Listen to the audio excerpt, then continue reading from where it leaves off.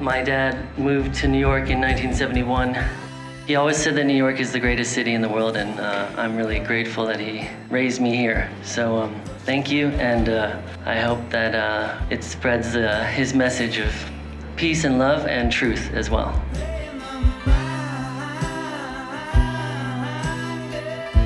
We wanted to do something special, and we want to keep his message and his music out there in the world because there's a couple new generations that uh, haven't grown up with the mythology of the Beatles and my dad. So for us, it's really important to you know keep his message out there because peace and love and, and truth, especially this year and and for the last few years, is, is a really important thing, a really important message, and I think it's sort of necessary.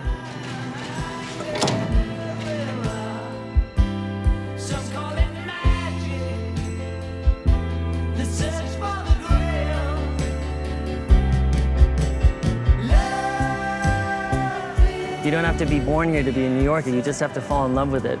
And so he was a New Yorker at heart, and so I know he would have been really honored.